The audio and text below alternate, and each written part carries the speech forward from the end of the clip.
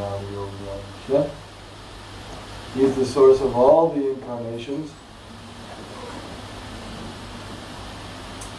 They're all coming from Him.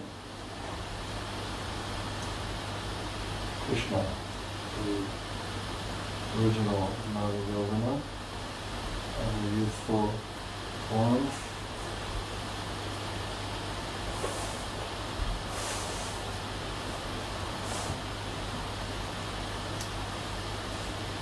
Therefore, Krishna is to be worshipped. Now someone may say, well, why should we worship anyone? Well, let's consider, if someone was perfect in everything and was the was maintaining everyone and was spiritual and was kind to everyone, wouldn't that person be worshipable, theoretically? What, what is the term worshipable means? And what is the use of worshiping anyone? Someone may ask that. You say worshipable, but I don't think anyone should be worshipped. I don't think anyone's worshipable. I don't think anything is worshipable. Of course, he thinks he's own theory is his own, he's worshipable, therefore everybody should agree with him. But other than himself, he doesn't see anything worshipable.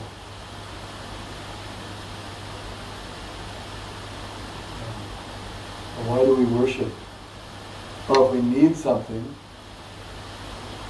or if someone, if something or something is so glorious that it just just forces one to be in awe and reverence. My worship is awe and reverence. I'm, I'm just awed. Just like when there's when there's a big thunder sound, thunder or lightning, extraordinary lightning with big thunder. Well, everybody stops what they're doing and is interrupted and they're awestruck. Oh, that's the type of worship. Even, even though he may not bow down because whatever, but still he, he has to give some recognition that that was wonderful. Wonder.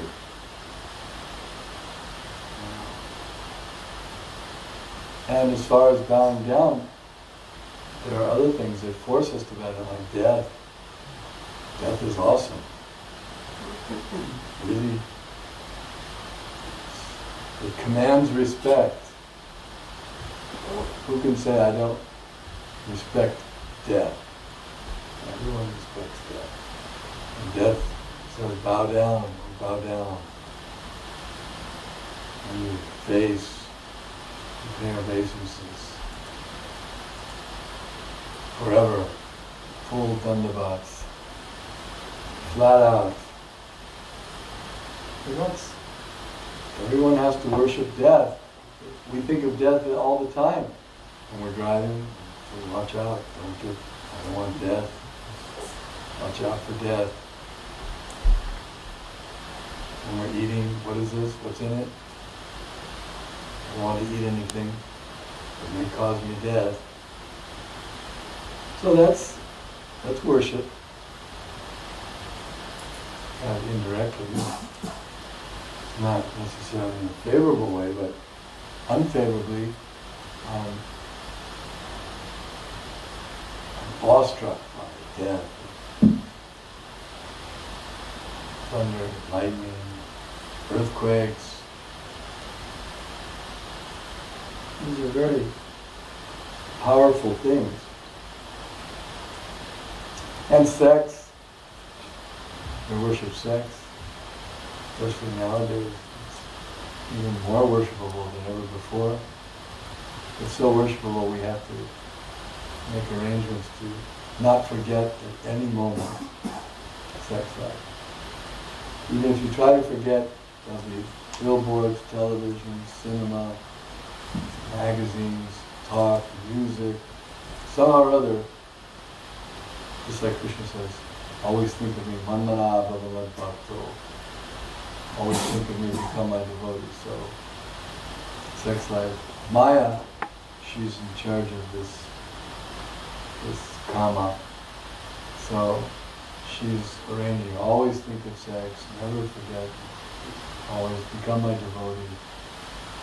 You have to dress just perfect, just like the devotee puts on tilak and wears his kanthi mala, decorated properly for clean clothes for pleasing Krishna. So for sex life one has to dress in so many abominable ways uh, just to become a servant of sex. So that's worshipable. If he says, I don't worship anybody, but he worships sex, so, but sex is not auspicious.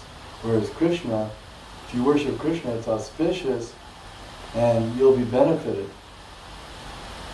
And not just benefited for a few seconds or a few minutes or a few years, but eternally benefited.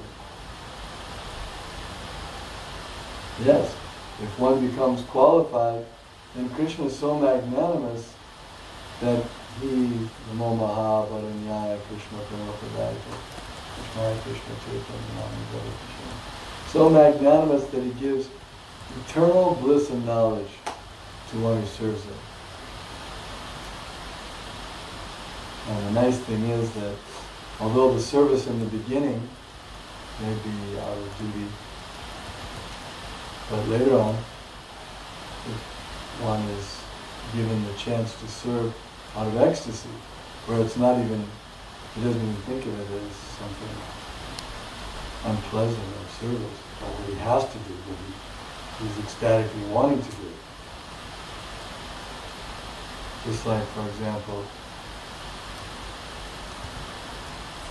mother, she has her little baby, so she's carrying the baby.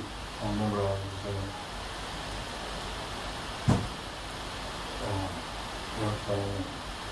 so the mother was keeping the baby. And so some other ladies, some older ladies said, no, well, we'll hold it for you. She said, no, no, I, I like holding it.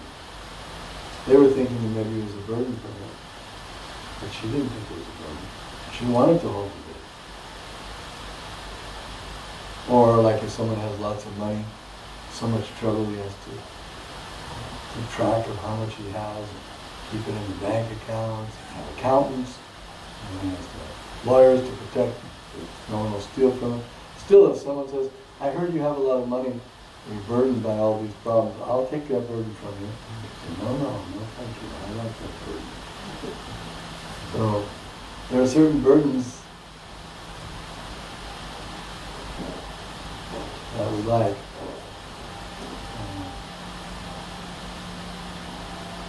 So Krishna is uh, bestows auspiciousness, he gets eternal bliss and knowledge. We can live forever in the spiritual world without any fear, without any anxiety. This is Krishna's, how auspicious it is to worship Him. Of course, if one doesn't worship Him, still it's auspicious just to have any contact with Krishna. But more auspicious if one takes the opportunity for service. Just like when Krishna entered Mathura. Some of the residents of Mathura, they appreciated Krishna and they worshipped him by bowing down, by throwing flowers, by sending beautiful glances. Some of them gave flower garlands, some of them, even Kubja, the hunchback, uh, uh,